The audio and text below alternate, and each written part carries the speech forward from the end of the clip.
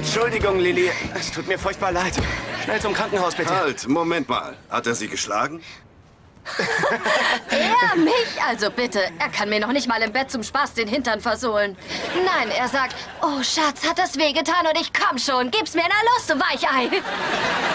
Wow, ich kenne sie überhaupt nicht. Oh, ist okay. Erzählen Sie weiter.